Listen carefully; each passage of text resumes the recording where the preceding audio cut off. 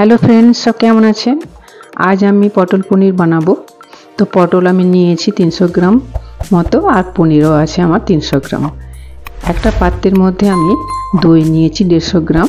তার মধ্যে ধনে পাউডার, জিরে পাউডার, হলুদ আর তারপরে দিচ্ছি রেড চিলি পাউডার আর তারপর দিচ্ছি রেড রেড চিলি পাউডার দিলাম আর কাশ্মীর রেড পাউডার। এই দু রকমের চিলি পাউডার দিলাম। এই পাউডারগুলোকে আমি দইয়ের মধ্যে চামচের সাহায্যে মিক্স করে নিচ্ছি। তো এই রেসিপিটা বানানোর জন্য আমি মশলাগুলো দইয়ের মধ্যে মিক্স করার পরেই বানাবো। কিন্তু এইভাবে বানালে রেসিপিটা দারুণ হয় কিন্তু খেতে, আপনারা এইভাবে ট্রাই করে দেখবেন, নিশ্চয়ই আপনাদেরকে ভালো লাগবে। তো আমি এগুলোকে মিক্স করার পরে তারপরে আমি গ্যাস ওভেনের কাছে চলে যাচ্ছি। কড়াইয়ের মধ্যে আমি এক চামচ ঘি নিলাম। গা ঘি নিয়েছি। পনিরগুলো হালকা একটু ভেজে নেব। দেখুন, হালকা আমার ভাজা হয়ে গেছে, এরকম তুলে নিচ্ছি। তো এইভাবে পনিরগুলো তুলে নেওয়ার পরে আমি কড়াইয়ের মধ্যে সর্ষের তেল অ্যাড করব। এরপরে আমি সর্ষের তেল দিয়ে পটল পনিরটা বানাবো। পনিরটা আমার ভাজা হয়ে গেছে। আবার দিলাম আমি এক চামচের মতো সর্ষের তেল। পটল পিসগুলো আমি ভালো করে হলুদ আর নুন দিয়ে হাতের সাহায্যে মেখে নিয়েছি।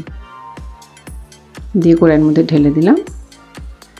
এগুলো আমি নেড়ে নেব, ঢাকনা, মাঝে মাঝে ঢাকনা দেবো, তারপর নেড়ে নেড়ে পটলগুলোকে হালকা ভেজে নেব। দেখুন, একটু কোনো গ্রিন কালার আছে, একদম পুরো ব্রাউন কালার করে ভাজছি না। এইভাবে গ্রিন কালার একটু রাখলে দেখতে ভালো হয়। তো পটলটাকে এইভাবে আমি পুরো ব্রাউন কালার করে ভাজলাম না। এরপর আমি আবার সর্ষের তেল এক চামচ নিয়ে তাতে দুটো তেজপাতা, একটা শুকনো লঙ্কা, দুটো এলাচ, দুটো লবঙ্গ, একটু দারচিনি, এগুলো একটু ভেজে নিচ্ছি। একটু গন্ধ আসলে তারপরে আমি অ্যাড করব পেঁয়াজ। দেখুন আমার ভাজা হয়ে গেছে গোটা মশলাগুলো। এরপরে একটা আমি পেঁয়াজ কুচি নিয়েছি। পেঁয়াজগুলোকে ভালো করে নেড়ে নিচ্ছি। পেঁয়াজটা একটু ভাজা হয়ে আসলে দিলাম আদা এবং রসুন বাটা এক চামচ করে দিলাম। একটু ভেজে নেব। এইভাবে ঢাকনা দিয়ে দিয়ে আমি মশলাটাকে কষিয়ে নেব। দেখুন আমার রসুন, আদা এবং পেঁয়াজ ভাজা হয়ে এসেছে। এরপরে দিলাম টমেটো পিউরি আর অল্প একটু লবণ। এরপর আবার এগুলোকে ভালো করে কষিয়ে নিচ্ছি। এরপর দেখুন মশলাটা থেকে কেমন তেল ছেড়ে আসছে। এরপরে আমি ওই দইয়ের যে মিশ্রণটা, ওইটা আমি অ্যাড করে দিচ্ছি। দেখুন পুরো রেসিপিটা জুড়ে কিন্তু আমার ঢাকনা দিয়ে দিয়েই আমার মশলাগুলো কষছি। এইভাবে আমি এই রেসিপিটা বানাই।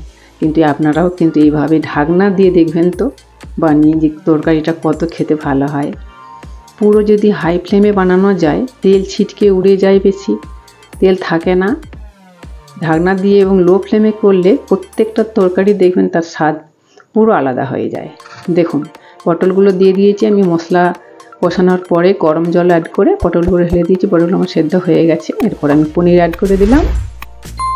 পনিরটা দেওয়ার পরে আমি পাঁচ মিনিটের মতো লো ফ্লেমে একটু ফুটিয়ে নেব। এবার আমি লবণ আর একটু মিষ্টি দিলাম, চিনি অ্যাড করলাম। আর এক চামচ ঘি আর দিলাম গরম মশলা। তারপরে একটু কস্তুরি মেথি আমি হাতে করে ক্রাশ করে দেব। কস্তুরি মেথিটা দিলে এই রেসিপির স্বাদটা কিন্তু দারুণ হয়। আপনারা যদি কস্তুরি মেথি না থাকে, গরম মশলা দিয়েও আপনার রেসিপিটা বানাতে পারেন। আবার ঢাকনা বন্ধ করে দিয়েছি। তারপরে আমার দেখুন রেসিপি রেডি আমি নামাবার আগেই দিলাম ধনে পাতা কুচি, দিয়ে আবার ঢাকনা বন্ধ করে দিলাম। কড়াই নামিয়ে ফেলেছি গ্যাস থেকে।